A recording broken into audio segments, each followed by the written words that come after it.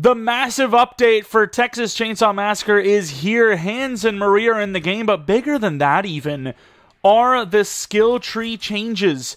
Everyone's characters are completely reset, and all of the skill trees are literally static. Before there was random nodes, all of that is gone. As you can see here, you're basically starting from new. Uh, if you're looking just for like a hitchhiker, you can see left side seems to be sort of the uh, the dinner bell uh, Venom Scout build. So you pretty much have the same thing going on there, and, and you still have uh, Suffocating Grip, and uh, you know Nobody Escapes Hell. But as far as the other characters, I have seen absolute crazy shakeups, and the meta is almost gone.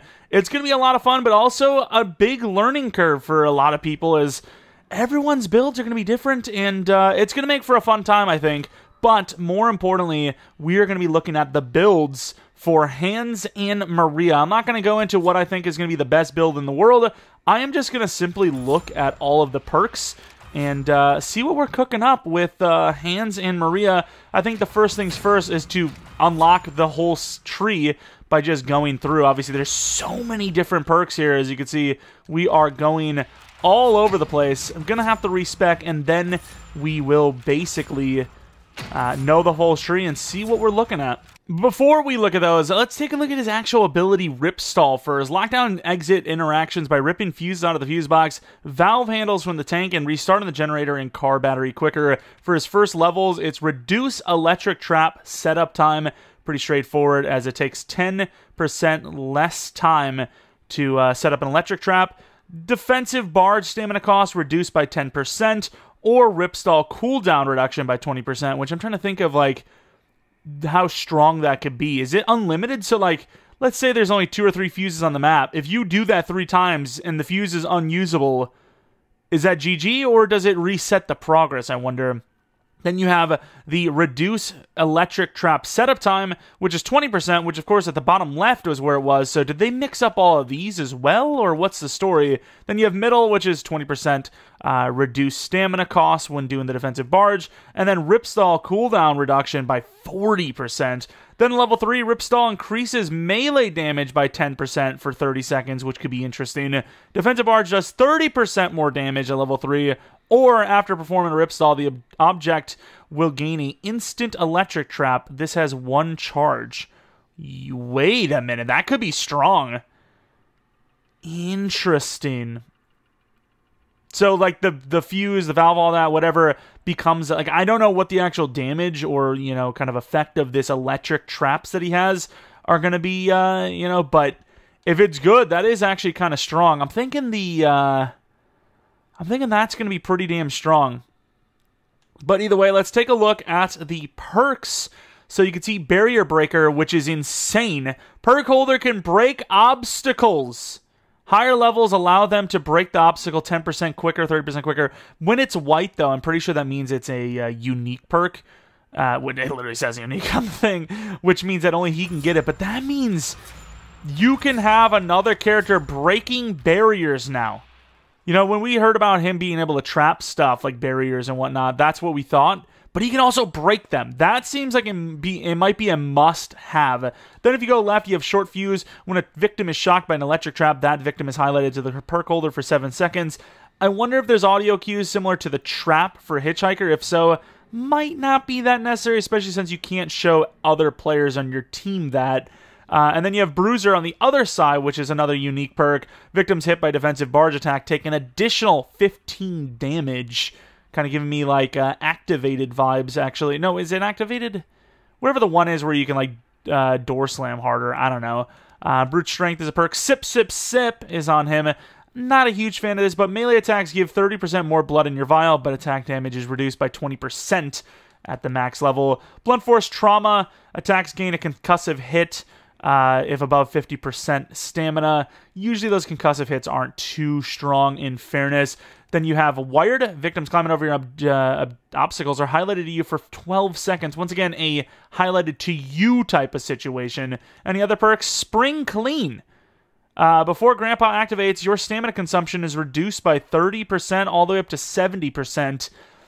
That is probably not going to bring you much value, to be honest. Like, if assuming he can have Scout, which I see right here, you might as well just go scout, right? I mean, that's you, you get faster speed, which equals technically stamina reduction because stamina reduction allows you to run longer, but at least you with the speed, you know, you get it. Uh, but looking at the tree, you start off only being able to go two directions, uh, which to me, I don't know if you can make your way back over for scout anyways, but you think you would want to start with the left, so that's what I'm going to do here real quick. Then you have a choice between Chicken Whisper, which also gives you a chance at Universal Donor. Punishment is not really that good. Unrelenting could be decent. Blood Banker if you're going blood build. So you could have a blood build with them straight up. It seems like you're able to land Universal Donor, Blood Banker, and Scout with him. As far as your Grandpa perks go, though, it doesn't seem, unless I'm missing something here, that you're going to be looking too pretty with that. Uh, and then if you go to the right side instead, you have Bruiser. Uh, I would imagine, maybe not Sip Sip Sip, actually. You might go left. I'm just going to take a, a, wild gander at these perks real quick. So, uh, wait, do you have to go straight to get this? Oh, you can't. I didn't notice that they cut off. You can't get Universal Donor with um, Blood Banker. I'm not a huge fan of this because obviously if you go left, you're kind of limited. Ooh, slow hands. This is interesting. Victims that trigger an electric trap complete hold and tap interactions 40% slower than normal for the next 60 seconds seems a little like specific. Uh, but yeah, you're definitely gonna want to get to Scout, I'd imagine, because as far as like his attributes go, you can see his endurance is 15, so I can't imagine he's the fastest character, especially with stamina stuff. Uh, you also have the chance at rubber boots. Big swings is on the right side though, which is definitely interesting. Wind Doom. Uh, what else do you have? You have um, nobody escapes hell on that right side. I'm trying to think if you because you obviously want scout. You can get universal donor. I'm gonna try going middle. I think. So you obviously can go middle. You're not really getting much damage perks though. It really comes down to what kind of. I mean, he has really good damage on his own. As far as like a scout build, which is what most people are going to be running, this is kind of the gist of what you're going to get. We're going to build a scout build, and then we're going to do a big swings build, and then you guys can be like, eh, you know, I don't know which one's better, but Obviously, with the uh, scout build, you're going to be getting Blood Banker. Yeah, I suppose so. Uh, you're not Blood Banker, uh, Universal Donor. So Scout, Universal Donor, and then the you know the initial perk of being able to break barriers. That's not a bad build, I don't think. That might even be the build I run with. Uh, I'm probably missing some perks in here, am I? Eh, there's got to be some that I'm missing there. There's one. Once again, not seeing very good Grandpa perks on this side, um, but Am I? I'm still missing some. Oh, there they are. The three perks, I'm pretty sure, right here. What's this one, actually? Rip Ripstalled. After using the Rip Ripstall ability on an object, the object cannot be interacted again by anyone for 30 more seconds. You would assume that's going to be an automatic 30 to 1 minute automatically, but I'm not 100% sure. You also have Heart Attack. A victim's bleed out increases for 180 seconds if they trigger an electric trap or are hit by the perk holder's barge. That could be strong, too. But as like a basis, which a lot of people would be like, they're going to gravitate towards, you know, the stamina stuff and the sprint and whatnot. This is the build you can get for Scout, which I don't absolutely hate. I'm assuming you're going to want to do this. You're at least to want to get a 30 if you have uh, the blood perk. He looks pretty strong already. 50 savagery, 31 blood harvesting, and 25 endurance. You might even be able to knock that endurance down to 20, but just for the start, that's what I would do. And as far as his abilities go, you'd probably not want anything on unless your teammates have, you know, none of the cool good perks. If not, well, well, well, probably is going to be your bets. So that's actually not a bad. Oh yeah, we also have two executions, just like Grandma did with the chickens. So it looks like you snap their neck and then Nutcracker on your knees, so you bust their head open. Um, but this is not a bad build, I don't think, to be honest. You probably want to run Barrier Breaker most of the times, as you're going to be able to, uh, you know, negate needing a Leatherface. Universal Donor obviously is a pretty good perk. You could also change it for probably either Heart Attack or Activated, I suppose. But I like this build so far. You could also go all the way left instead which would give you, you know, like punishment too much. If you go all the way left instead, you get Blood Banker instead of Universal Donor, which I don't think is really that good. I think you're going to want to do the build that I just did, or we're going to test out the right side real quick and see what we're looking at. So Bruiser, you take extra damage from a defensive barge. Still don't know what a defensive barge means because that sounds like you're not going to be able to control it. It sounds like if a uh, a victim runs into you like full blast on their own terms. That's what I think it is, anyways. Uh, if you go left, blunt force trauma attacks gain that stamina or that um, concussive hit. Uh, if going left, you can end up with down the rabbit hole. Surgical could be decent. Uh, it looks like you can get all the way back over to um, scout though, which is interesting. If you go left, but even then, your choices would then be a little bit limited you obviously can't get big swings with Scout. That's that's for sure. Uh, and then if you go left, so going left is okay because you're going to get surgical. You can end up going back to the right for feral though, but you're also losing nobody escapes hell it seems. So I think for this purpose, we're going to go to sip sip sip, dinner bell, and you're you're gonna keep. Oh, you don't get feral then though.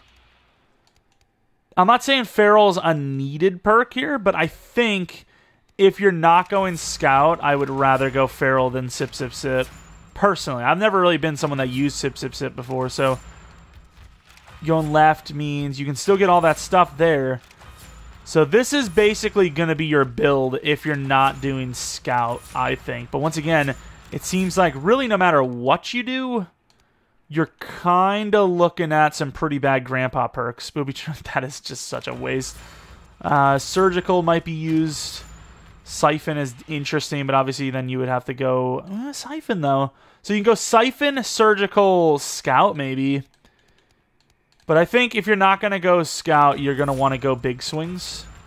And of course you do have easily tuckered out, but this is basically going to be your build if you're not doing Scout, I think. So it's really weird, but you look at most of uh, Hands' abilities and his like his perk slots. Oh, you're getting also the um, respec glitch still, where you get more skill points when you respec. It seems, but this is basically what he would look like. That Savage would be maxed to 50 because obviously you'd have Feral adding that four to it. But with 34 blood harvesting and 25 endurance, obviously you can probably just go more endurance if you want you know, maybe do something like this or whatever. But it seems like weirdly enough, Hands is like basically a blood harvesting character, right? Because if you go the scout build, you have multiple blood harvesting perks there as well. It might just be like that for all the characters they change, but you can obviously see that hitchhiker. The uh, the venom build is there just uh, automatically if you want it. But it is interesting that hands of all players is is kind of a blood character in my opinion, just the way I see it. But this is probably going to be your build, you know, if you're going to be running non scout. Personally, though, I think that original build we looked at, uh, maybe instead of Universal Donor, you can go. Uh, you can go blood banker so you can hold more blood for when you get kills you get all that blood instead of actually going for buckets but very interesting like i said i think he's kind of a blood character it's a little weird but I kind of like it a little bit. And then we did all that yap, and it's time to look at Maria, whose main ability is, of course, causes Grandpa's sonar ability to highlight family members instead of victims. I'd imagine you have to use, uh, you know, get up close to him, which uh, obviously is going to activate it if you have this on. So I'd imagine it's something you press before you get up to Grandpa, or maybe there's a special button but uh, looking at the cooldown, uh, cooldown delay reduced by one second. That is interesting. Wait, so is this something you can do unlimitedly? I'm so confused by one second cooldown delay. Then you have, of course, the duration of time that Grandpa has highlighted is increased to 15 seconds. That Grandpa has highlighted? Wait, I am so confused. Uh, and then, of course, reduce ability cooldown by 20%. Uh, then you look at the reduced cooldown delay by 2%. So can you just spam grandpa? Is that what I'm hearing here? I'm so confused. Uh, decrease the time uh, to sweet talk grandpa to two seconds. Okay, so it might be a long animation, is what that is pretty much telling you. And then, of course, the cooldown time between uses of your sweet talk abilities reduced by 40%. Then you go to level three, which is going to be pretty strong. Grandpa highlights family members on the next two sonars the next two. So, of course, the way this sounds is you can obviously do it multiple times, which means if you have this you can kind of control Grandpa for the majority of the game if it's every two, basically. That's kind of insane. And of course, Grandpa highlights family members in close proximity to him I mean, that's got somewhat strong because, of course, it seems like it's just uh, an ability that's automatically on. And then this one, a lot of people are probably going to be using. The first time you sweet talk Grandpa's level will be reduced by 1%. I wonder if Maria is even able to stab Grandpa at all. Because you would think if he she stabbed him once, the sweet talk should be negated for the rest of the game. Because he's like, hold up, I liked you, but then you stabbed me. What are we doing here, you know? This is an interesting. This is like one of the more kind of up to interpretation kind of ability skill trees I've ever seen. Because, like, cooldown delay reduced by one second. Cooldown delay. Does that mean, like, when he yells? I am so confused by that. I might just be a dumb, but let's be honest. Uh, let's go into the skill tree, which, of course, you can see Bomb Squad exists immediately. Haven't went into any of the other characters, but that is definitely interesting to see right out the gate. Then, one of her apparently not unique perks. Pep Talk, Sweet Talking Grandpa allows you to heal by 20% of your maximum HP. Also, don't know how that's not unique when that ability is unique, uh, which is interesting. Twinkle Toes, you have a 25% or 75% chance to not trigger Bone Charms while also completely avoiding chickens. Uh, very interesting. Uh, that's not obviously unique. Stunt doubles on that side. Hush or die when dropping below 5% health. Receive 15 points towards stealth. Okay, I don't know. Dr. Seuss is in the house. Uh, ran track, your endurance is up by 7%. Uh, so obviously, it seems like you're. No, you get these automatically by going that way, and then you get to go right. There's a lot going on here. Blood Clot Cry. This is new, I believe. Receive 25 for health whenever Grandpa activates his sonar ability, has four charges. That could be insanely clutch. Of course, you don't really control that but that is very interesting how clutch that could be. Then when you're on the right side, you can go to no sell, which then gives you the option of efficient backstabber or light on your feet, which is, I mean, it's something. Don't really see many people use light on their feet because everyone just kind of rushes out the gate, anyways. Uh, but instead, if you wanted to go left instead of uh, no sell, you could get Lucky Lockpicker, which is the first time you do a, a lockpick.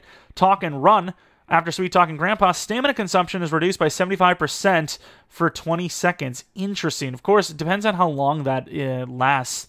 Because you could, like, arguably, let's say the gen is off on Family House and there are people out there, you know, and you're going to try to run it. You could sweet talk grandpa and then run out that front door, and you have that twenty percent, 20 second, 75% stamina consumption reduction. A little, you know, kind of uh, niche, but still something.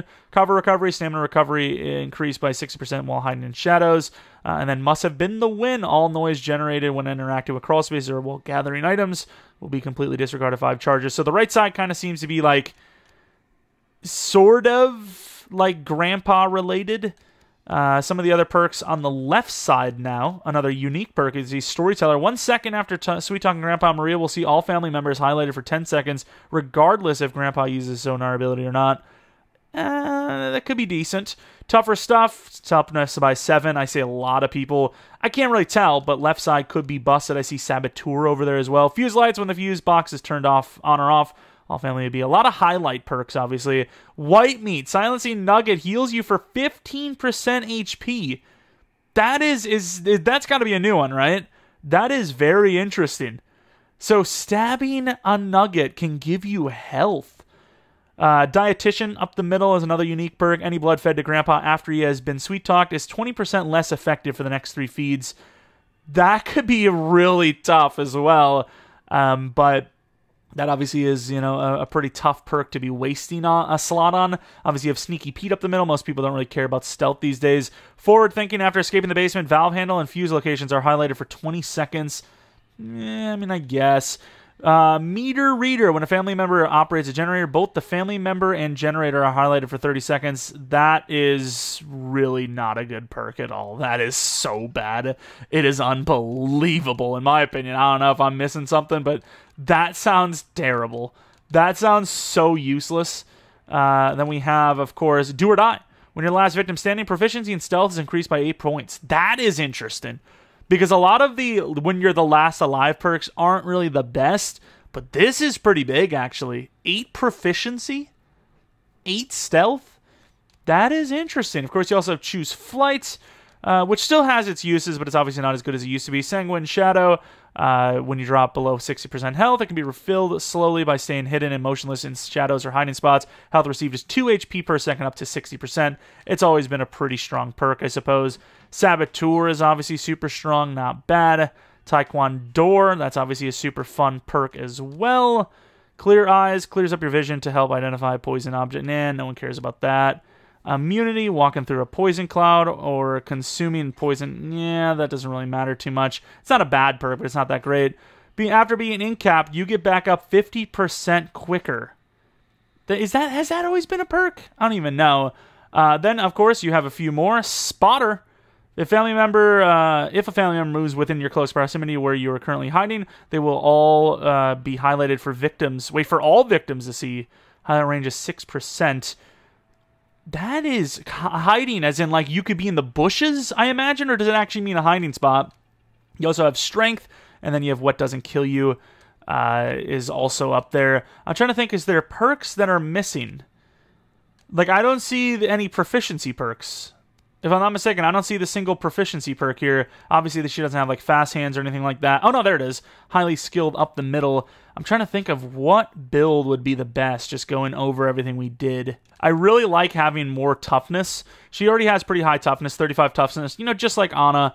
Uh, 25 endurance, 30 strength, 20 proficiency, 20 stealth. So realistically, you're going to be putting a lot into proficiency, a little bit into endurance. So I am trying to think of what I want to do here because obviously I love Taekwondo and Saboteur is decent. So you can kind of build like almost like a Leland build, if you will. Uh, you will not get the proficiency doing that though. No cells on the other side as well. Like I said, I really like this perk change up. It's going to change a lot of the metas and it's going to be like, I don't know what to do and all that. But I also kind of want to run something unique like Blood Clot Cry no cell or stunt doubles on this side as well. I love that bomb squads in the front. I don't know if any other characters have that, but this is interesting. Also, there's another perk I didn't see. Getting within 40 meters of Leatherface while his chainsaw is active applies the Noisemaker VFX to Leatherface. This per this allows the perk holder to track Leatherface for 15 seconds. Interesting. Uh, all right, so now at this point, looking at this side of the skill tree, we have forward thinking, we have white meat, we have tougher stuff, Storyteller is also there. Uh, and then now we have the choice do you want to go Saboteur and uh, Taekwondo, or do you want to go to the right and get yourself uh, highly skilled? I think I want to go left, personally. This also, in general, has a very big, like, gen kicking build, because obviously you can see the strength is up there. Sanguine Shadow is pretty good, too. Clear Eyes. If you go right, I don't think you can get the strength, though. But you also could get choose flight. This is tough. Uh, it's going to be so much fun respecking all these characters. Uh, I think this is going to be the build, though. This is, I think we're doing a generator kicking build with this. You also have this, Back for Blood. When sneak attacking Grandpa, you decrease family bond by an extra 30% and heal for 15%. Also, call me crazy, but is this not kind of pointless? When under 5% health, receive 10, 15 points towards toughness. You're not going to really be able to take any hits when you're that low, though. So with the left side of the skill tree, there's, you know, kind of a, a couple of different options you go. This kind of seems like more of a gen kicking build instead of Taekwondo, though. You can go uh, bin working out. Uh, endurance is going to be kind of important here. Uh, as far as if you're going pure gen kicking and you're hoping someone else is going to make a play, you can obviously do this because that will max out your strength. You'd still have 30 proficiency, no real stealth, endurance is at 30 and then your toughness is decent. And if you don't want to go with a gen kicking build, you could just go like Taekwondo and then possibly like tougher stuff, which obviously then you drop that strength down, you increase that proficiency a little bit. Uh, and uh, you're really not looking too bad as like a pure proficiency build character. Uh, obviously, you're still going to get another four for toughness. It's probably something along the lines of what I would do. Maybe you can take off Taekwondo and put on Saboteur and turn this into kind of a uh, fuse build as well. But there are some options. I really think the left side of the skill tree for Maria seems to be the best. But obviously, as we play on, there's going to be so many different options, so many different video ideas going forward, and there's just a lot to this update with these perk changes, which I always did know was going to be the big meat of this update, of course. But anyways, if you guys enjoyed this one, you know, maybe leave a like, subscribe if you're new. Ton more content on the way. Probably a Maria and Hands video today. Maybe playing a game or two of uh, each of them if it's possible, because obviously there's going to be a lot of lobby dodging uh, until people get the characters they want. But that's about it. Thanks for watching. Hope you guys come back for next video. But until next video, see ya!